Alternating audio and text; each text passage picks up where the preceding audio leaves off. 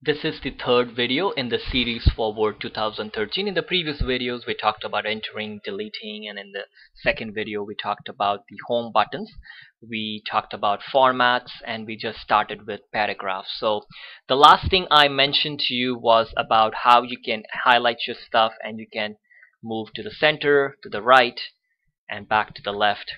And with paragraphs what you can do is you can highlight your paragraphs and you can make it justify so that they are lined up nicely up here. So we'll move on and uh, do some more things and finish up the buttons in the paragraph section. Now next to justify there is this button here which is called line spacing. So I have these paragraphs highlighted so I'll just highlight this and if I didn't want it to be like close to each other I can click here and I can make it 2.0 that is double spacing. So you see the difference between the one on the bottom. So this is called double spacing. Or I can change it to 1.15 the 1.15 is a nice uh, spacing because it leaves enough more space and not like one. Let me show you one now. So one is too close to each other so 1.15 is a nice way of choosing your paragraphs. And you can do it anywhere you highlight. 2.0. Make it 1.5 or make it 1.15. So it's up to you what it is that you prefer. Next to line spacing, there is an option to add color. Shading means whenever you see a bucket, it just means like putting color. So if I click here, I can put like a color and it puts it all the way across. Okay. So wherever I highlight, and I can choose to put like a shade on it. And when you change your mind, you highlight and then go back and make it no color. Please remember to pause the video if you wanted to practice and you can always go back and rewind or forward the videos too. So that's called shading.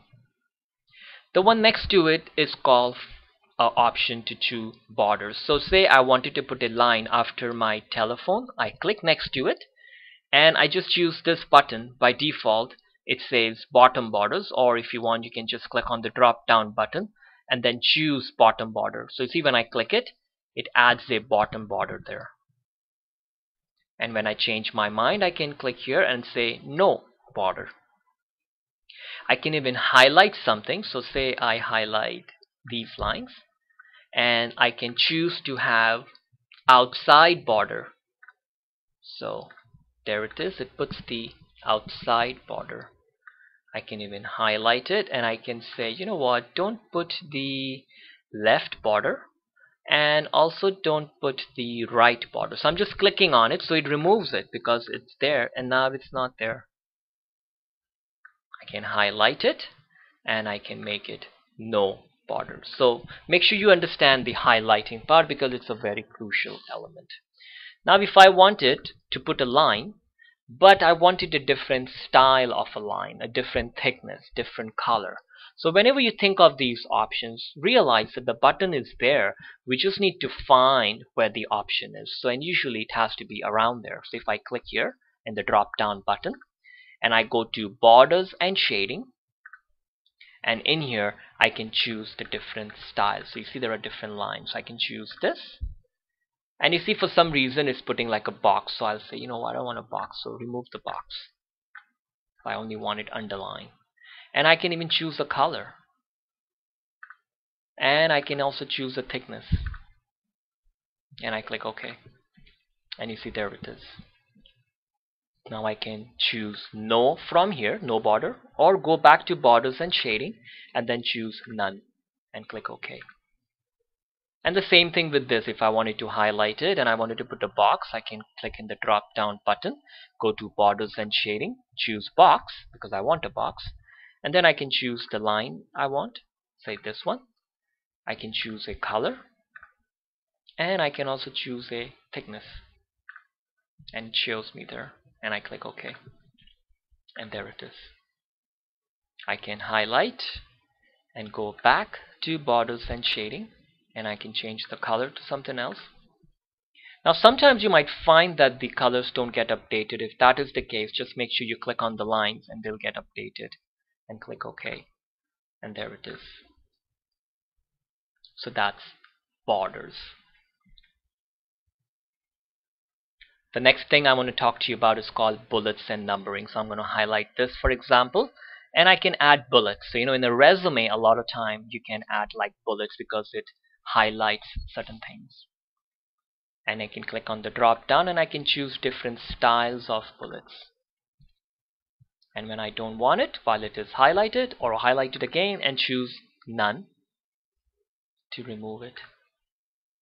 You can also add numbering system like 1 2 3 4 and you can also add make it ABC or New Romans. And you can switch from bullets to numbering. It remembers the last one and you can change it back to none or press the same button to turn it off. Bullets numbering. Next to it is an option to do multi-level list. What this for this to be activated you have to have something indented. So what does that indent mean? So if I click here and I press the tab key on the keyboard so now this is indented. This is like as if this is heading 1 and this is like a section 1.a and then if I want I can press indent two times. So that is pressing the tab key on the keyboard two times. That will indent it. So this is section 1 this is section 1.a this is section 1.a.1 and up here I'll just do it indent one time. So now if I highlight this and I can choose this multi-level list so now you see I can choose this type of a section. So you see the way it puts it? Article section and then a subsection. And I can change it to this style. So it says 1a and then within the a i. This is point 2 because they are in same line. And then this is point a. So for this multi-level to work you have to have something indented. I can hit the undo buttons if I want to go back and if you didn't want to use the tab key on the keyboard to indent you can use these buttons. So you see there is this button to increase indent. And I can use this button to decrease indent.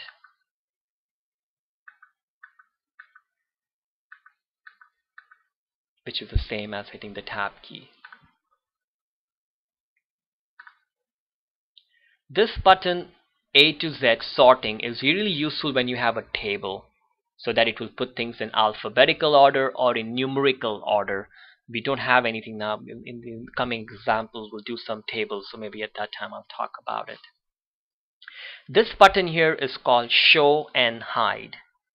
So when I press it, it shows me symbols on the screen, like this symbol. This symbol stands for that I hit the enter key, wherever you see that symbol. And wherever I put a space, you'll see there is a dot. You see there is a dot there. That dot symbolizes a period. So this is like a visual way of representing what's happening on your document. Okay. So all these things they start to get shown up on your screen. And I can turn it off and we'll talk more about that in the next videos. So the paragraph option is over. Now even in the paragraph there is this more button. And when I click on that there's some options that show up uh, whether you want your line spacing which I was able to use the button uh, which was this button here. But you can change it from here.